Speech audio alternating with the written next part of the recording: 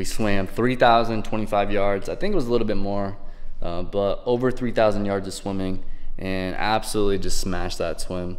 Um, really pleased with it, felt really strong, and I'm, my swim is gonna get dangerous in the next couple months, so uh, really stoked about that.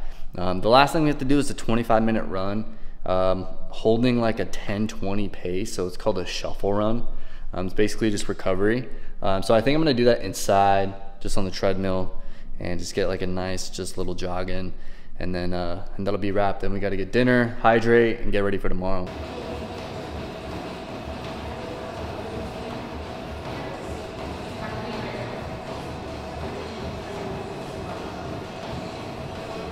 That was a good run.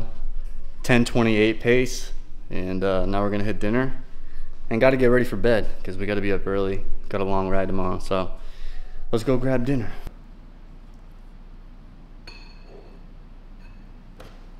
every day and say to yourself, it's not over until I win. Get back to fucking work.